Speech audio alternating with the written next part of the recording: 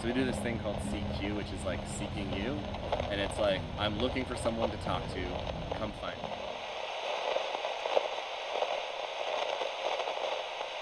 me. The point and reason, you know, if you want to go to some of the background and the reason of ham radio, is so this, which is uh, connected to that wire, which is in a tree like two feet, I can talk to Europe.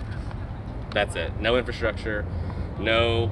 There's some education requirement, but otherwise, like it's completely just you set up and it you can talk across the world, right? So that's part of some of the questions I'm sure you'll be asking you later. Is like why ham radio is still super important is because it requires zero infrastructure to get extremely long distances.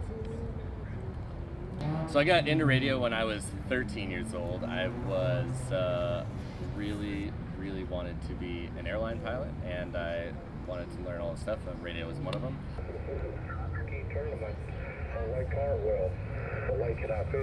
Uh, I ended up going to Radio Shack and buying a CB radio and mounting that to a desk in my like bedroom and finding an antenna and power supply and all this other stuff and turned it on and I spoke on it once because it's terrified. There's this thing called mic fright where you're like super afraid. You do all the work, you get the licenses, and then you like can't speak when you key the mic.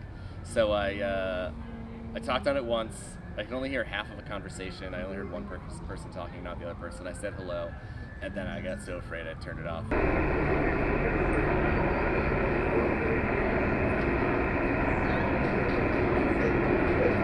Fast forward, uh, go get a new job, and in uh, class with my one of my buddies uh, for the new job, uh, I find out he's a ham radio operator. His dad is a ham radio operator, and like he encourages me to study and go through all this stuff so that we can actually out so that I can become a ham radio operator.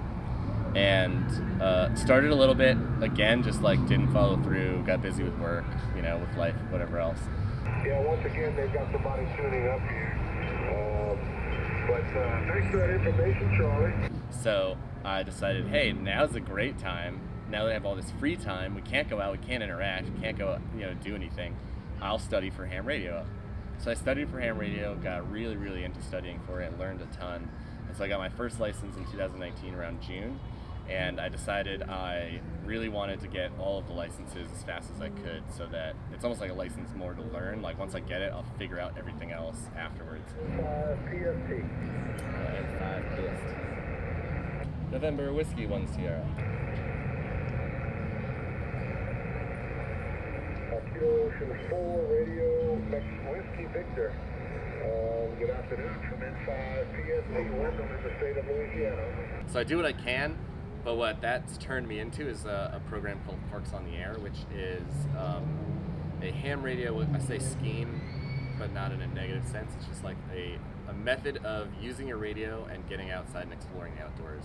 So you bring your radio, this setup, just like I have now, maybe a longer wire, but and you go to a national or state park and you can make contacts, and it's part of those like you log them and you get a little certificate at the end that says congratulations you've successfully activated this park No worries, we found you. yeah Yeah, I met these, these fellas and then we built some camaraderie by bushwhacking through the woods. nice Yeah. Yeah. all right well now that the satellite's officially okay yep we're at blue hills 8402 8402 Um, all we're all we're doing is exchanging uh, call signs. So like my call sign is Kilo Bravo One, Okay. Tango Oscar Yankee. I copy their call sign, and then we send signal reports, and that's all that's required to confirm a contact that we've established communication uh, between our two radios, and that's what counts for a point. This is Alpha Charlie 1, Juliet Romeo in Park H431, 8431. Roger, Roger. Uh, this is KB1TOY. I believe that's AC1JR.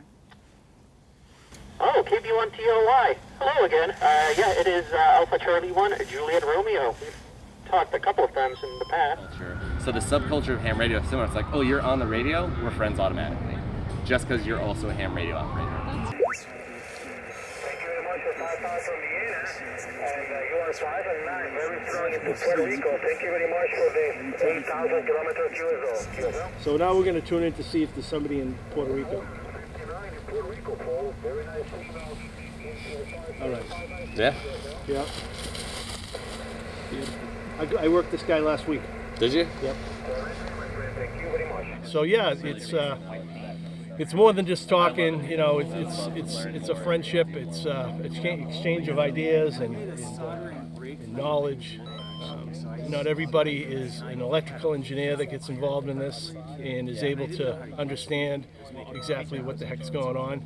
So that's where you get people that may have that knowledge and they're more than happy to uh, to share it. In, in ham radio, those people are called Elmers. And anybody that kind of takes you under their wing or shows you something is an Elmer. That's funny. And, but if you help somebody do something, you're an Elmer. activate the park. Uh, but then there's a there's a website called pota.app. Quite a, uh, a range of personalities. This, you know, I think if you were to ask every ham radio operator, why did you get your, your ticket? That's what it's a nickname for the license. They'll give, you'll get, hear a different answer from everybody.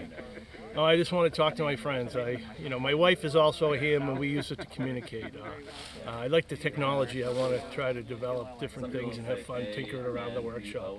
There's so many different uh, things that you can do with it. To, to, to put it in perspective, as like as a young person in in uh, in growing up and in school, there's like the weird kids, and they you don't you don't hang around with those guys, right? Because they're weird. But in ham radio, the weird people are included. You, you don't you don't exclude anybody. Yeah, I love You know, that. if one of the weird guys showed up right now, you know, just behave. That's all. That's all we're asking. Just be civil, and you can be as weird as you want.